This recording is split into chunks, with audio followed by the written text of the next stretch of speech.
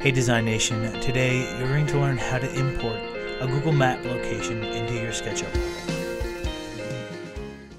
So currently I have uh, google.com open and if you want to search for uh, a particular location uh, you can type in maps.google.com um, and that will bring you to a particular location. So if there's a site that you want to bring into SketchUp um, and you just sort of browse around for the site or, or um, see what it looks like in Google Maps, you can do that.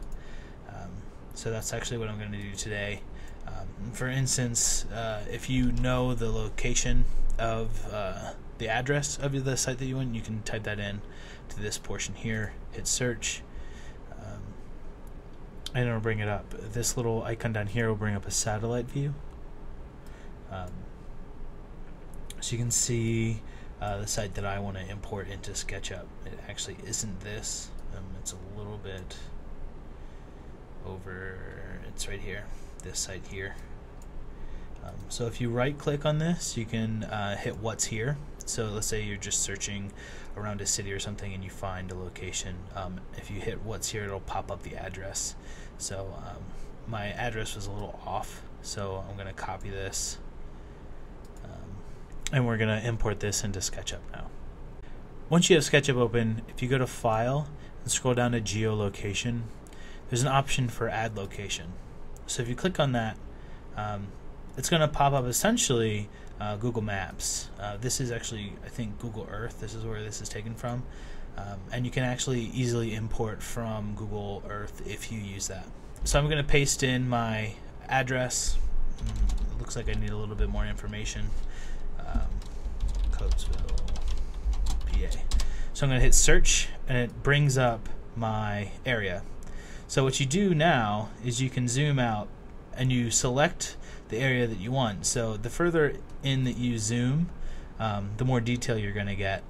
Um, and the further out you zoom, the less detail you're going to get, but the more information, site information you're going to get. So um, I'm not going to go all the way in here. I'm going to um, just sort of leave this here.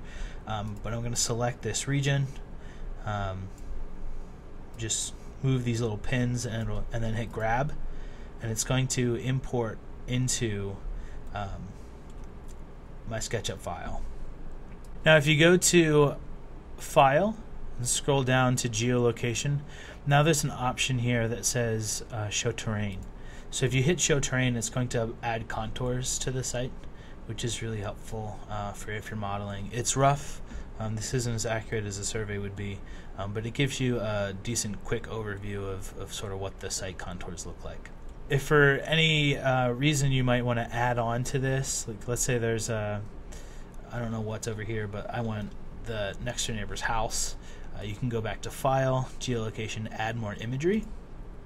Um, and it'll let you, you can sort of rotate around, let's say I want this blue house you can select this region and hit grab and it's going to add that to my site.